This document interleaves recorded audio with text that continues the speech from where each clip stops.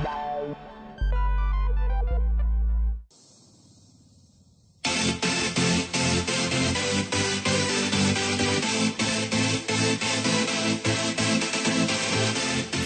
thank all corporate groups, teams, running clubs, sponsors, church groups, everyone who has already come on board with us for this fun run. Whatever your area of participation. We are all agents for change. You and I have to be joint in doing this. The Gleaner can't do this alone. We can't just decide, okay, we're going to do this we are all Jamaicans. I think it behoves all of us to be the change for our nation. Um, ladies and gentlemen, um, to have endured 180 years, you must be fit. Uh, you must be really skilled at reinventing yourself.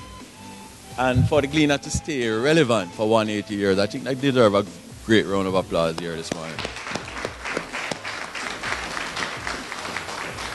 On behalf of the University Hospital Physiotherapy Department, it is my sincere pleasure to be here on this noteworthy occasion as the Gleaner launches its 5K run walk as part of their 180th anniversary celebrations.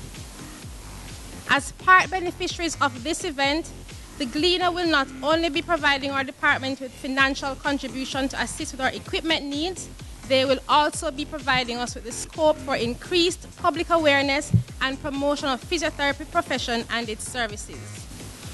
Okay, a bit about PALS. We're known for our work in schools. Um, in fact, less and less work in schools. Um, we depend on the schools who had us in a big way in the early years to sustain the programs. And that's a large result of it's harder and harder to get funding and our government being strapped for funds. We really could not have survived. It was founded by the Gleaner. They have never let us go.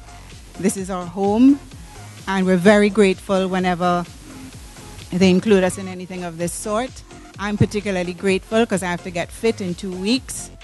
Um, so thank you. My heart is really full, and thank you very much.